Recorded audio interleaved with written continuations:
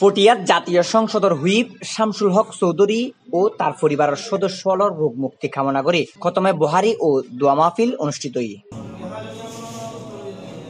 পটিয়া উপজেলা চেয়ারম্যান সমিতির সভাপতি ও কাশিয়াইশ ইউপি চেয়ারম্যান আবুল হাসমর উদ্যোগে ডিসেম্বর তিরিশ তারিখ বুধবার পটিয়া উপজেলা জামা মসজিদত এই দোয়া মাহফিল অনুষ্ঠিত হয়। এডে মুনাজাত পরিচালনা করছি নগরীর জামে আহমেদিয়া সুন্নিয়া মাদ্রাসার মুফতি মাওলানা ওসিউর রহমান আল কাদরি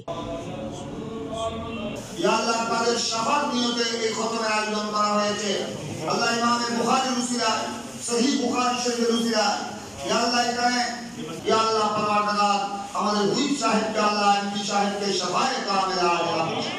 এডে আর উপস্থিত আছেন পটিয়া উপজেলা পরিষদের চেয়ারম্যান মোতাহিরুল ইসলাম চৌধুরী, উপজেলা আওয়ামী লীগের সভাপতি মুক্তিযোদ্ধা আকম শামসুজ্জামান চৌধুরী, সাধারণ সম্পাদক ও পৌর মেয়র অধ্যাপক হারুনুর রশিদ, পৌরসভা আওয়ামী লীগের সভাপতি আলমগীর আলম, সাধারণ সম্পাদক M N A Nasir, chairman Shahinul Islam Shanu, Ehsanul Haque, M A Hashem, Abdur Rashid Daulat, Mohammad Yunus Mia, Mohammad Bakhtiar, Awami League নেতা মোজাম্মেল হোসেন রাজদর, জহিরুদ্দিন রবিউল আলী সহ আওয়ামী লীগ, যুবলীগ, ছাত্রলীগ ও অঙ্গ সংগঠনের নেতৃবৃন্দ